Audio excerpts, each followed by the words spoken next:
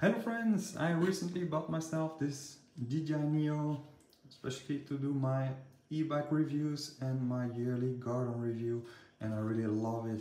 It is so small, light and it does all the jobs. It can follow me to a direction track, so that means that it flies in front of me and at this price 250 euros you have the drone, the Fly More combo with the remote control and the battery pack and especially for first drone if something happens you lose it well you don't break the bank. You can see that I have this small gimbal protector as well. I bought it on AliExpress as well. And this really nice carry bag which is waterproof. And really works well for the DJI Neo I will put all the links in the video description. Now of course the unboxing is really straightforward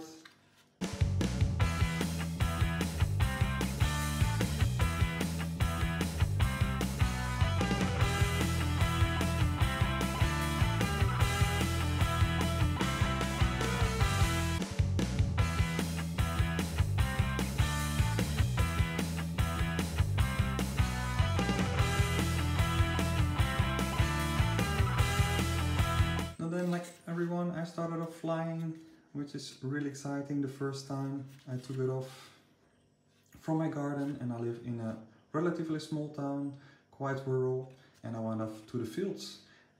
Only days after I received an email from the neighborhood watch with the police signaling all the neighbors to look out for a drone as there was a drone sighting. And it states that you have to keep an eye out and to note as much as detail as you can its fly path and signal it to the police. So this made me think, is it legal what I'm doing?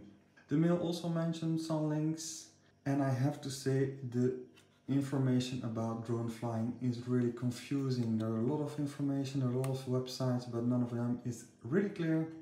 And even on all the YouTube videos, there's one thing that nobody mentions. So stay tuned and find out everything about illegal drone flying. There are a lot of things to consider. First is the weight. The drone has to be lighter than 250 grams and this is exactly the reason why DJI makes the minis which only weighs 249 grams. The DJI Neo like this one only weighs 135 grams. So light enough to fly it without a license but as it has the camera, there are some specific rules that apply. And that is that it has to have a CE mark, it has to be approved in Europe. The pilot has to be 14 years or older, but still there's no training required and no exam. And here you can see the class. This makes it a C0 class drone. As it has a camera, you have to have an insurance, but normally your classical family insurance should cover this, but check it out with your own insurance company. And then last but not least, you have to be registered, and that's something nobody mentioned. Now then there are some simple and logical rules that apply as well. And that is that with this kind of drone, you have to fly in a line of sight, which they call the visual line of sight. Then there's a max altitude of 120 meters, but it can be easier with the Neo, it is limited to 120 meters.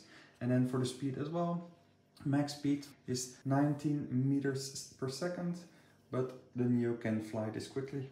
And then one main thing that's really important to know, and that concerns me with the email that I've got, you are allowed to fly this drone over people that aren't concerned about this flight. So you can fly this in your own neighborhood, but you are not allowed to fly it over crowds.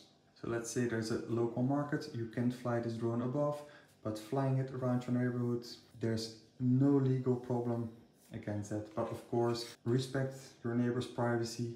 But if you fly high enough, like 60 meters, I like to fly at 60 meters altitude. This way I fly high enough to avoid trees and I'm way too high up to see details and go against the people's personal privacy. So those are the general rules that apply in all Europe. So that's good to know. Everywhere you are in Europe, the same rules apply. But then for the registration, we don't hear or see a lot about it, but you have to be registered as well. And you have to do this at your local government. So there is a European platform which provide a lot of information, but for the registration you have to go to your local government. So I registered my drone. You have to fill in your personal details and your insurance policy and then you get your personal registration number. I received it by a PDF file, but you have to mention it clearly visible on your drone as well. So just to be in order, here you can see that I made myself a small like registration card, but it also has to be visible on the drone itself.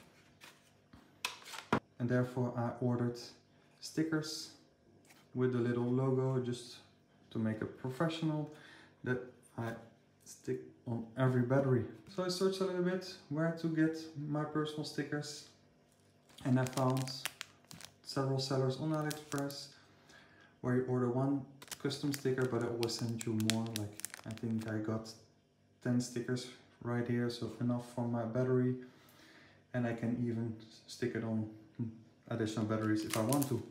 Now the last thing of course always check out the fly zone. There are some zones where you can fly. There as well logic applies. So the main rule there is flying near airports or military training zones. You can fly your drone over there.